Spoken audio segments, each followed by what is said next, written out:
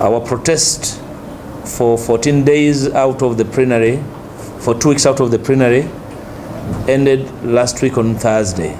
After boycotting parliamentary sittings for two weeks in protest against continued human rights violations by security agencies, the leader of opposition, Mathias Mpuuga, has called off the boycott and is rallying opposition MPs to return to the House and serve their people.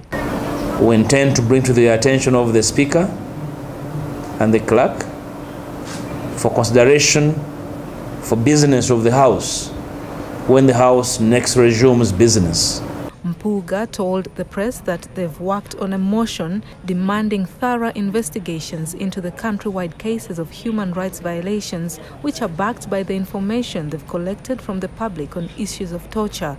That when we return to the House, we would go back to the House and demand that the House carries out a thorough investigation into countrywide human rights violations over the last couple of months.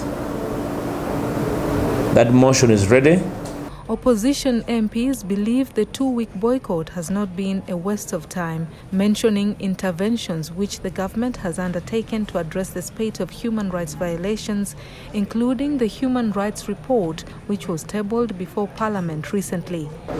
And we have seen that the, you know, the actions and acts of, of torture have, you know, slowed down. At least there is nothing that you're seeing of late. That means, you know, something has been done. There are not many people that are coming out to say that they have been tortured. So everyone knows that, you know, Parliament is at it and the eyes are out there. So I believe we have achieved what we have achieved. Our, our moving out of plenary was out of protest, but of course our protest was conditional that we are coming back with a motion. So just wait for a lot more. We are coming up and coming back with a motion once the House resumes, and, and, and, and definitely we shall detail out many and many more aspects as, as, as, as they owe to raise concern. The leader of opposition has expressed disappointment with the way their shadow cabinet member Martin Ojara Mapenduzi acted against his fellow shadow cabinet member Francis Zaake. For the record, I've not met the Honorable Mapenduzi to appraise him on his motivation for the motion. And he has not sought me out either to advise me on his motivation.